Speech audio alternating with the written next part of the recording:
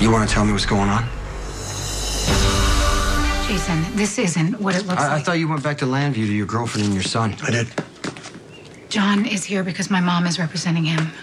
She just got him out of lockup. What were the charges? I guess you don't read the papers. Todd had him arrested for assault, and luckily he agreed to drop the charges. Wh- Why would you go after Manning? Okay. All right, you're probably gonna hear it anyway, so you might as well hear it from me. Todd sent Natalie a picture of us kissing. So how, how did Manning get a picture of the two of you? It doesn't matter. Yeah, it must matter to McBain. He got charged with assault. What did What did Natalie think of that picture? She left me and she took our son.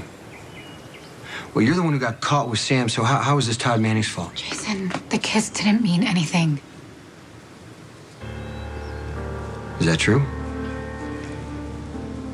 Didn't mean anything. Wants to work things out with Natalie, which is why he hired my mother. So if you think that he came here because he wanted to see me or That's not why I'm here. You two should talk. I got things to do too. John. Listen to my mother, please. Don't go violating the restraining order. If you run to Llanview,